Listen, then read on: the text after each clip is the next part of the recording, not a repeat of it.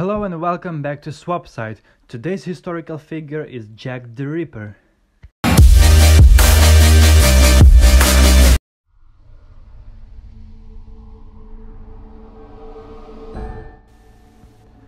Between August and November 1888, the Whitechapel area of London was the scene of five brutal murders.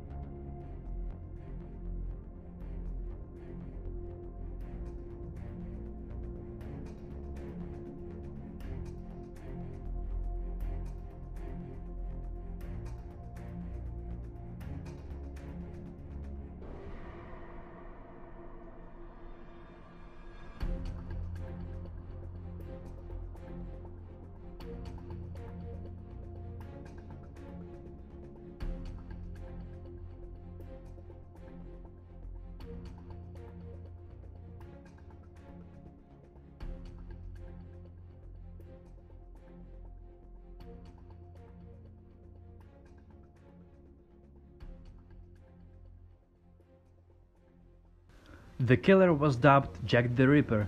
All the women murdered were prostitutes, and all except for one, Elizabeth Stride, were horribly mutilated.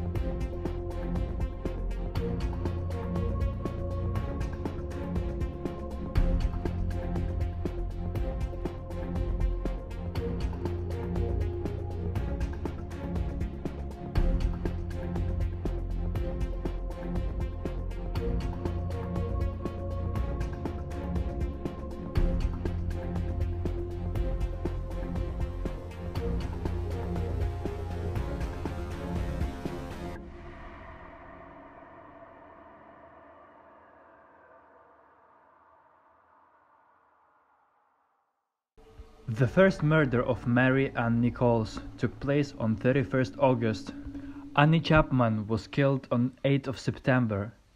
Elizabeth Stride and Catherine Eddowson were murdered 30th September and Mary Jane Kelly on 9th of November.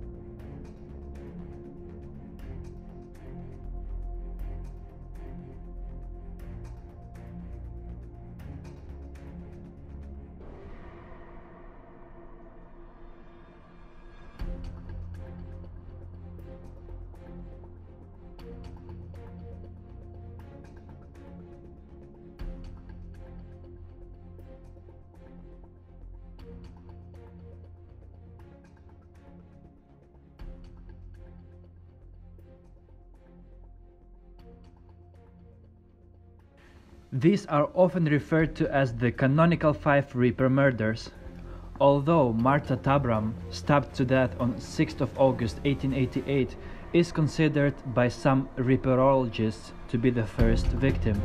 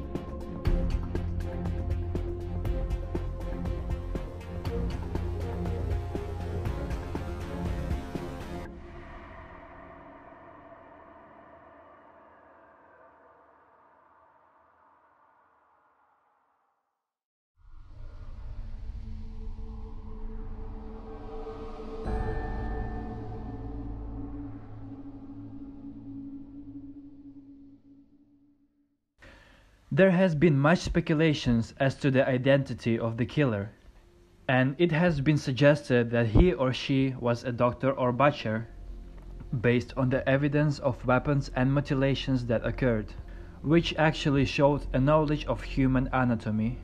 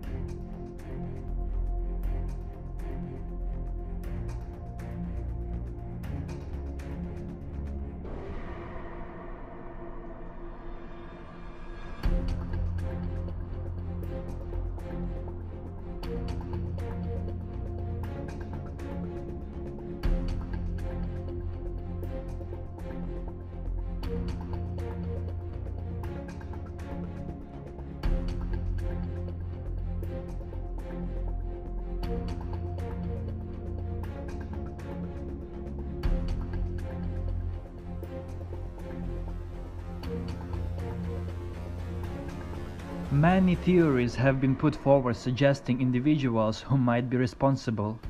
Violence to prostitutes was not uncommon, and there were many instances of women being brutalized.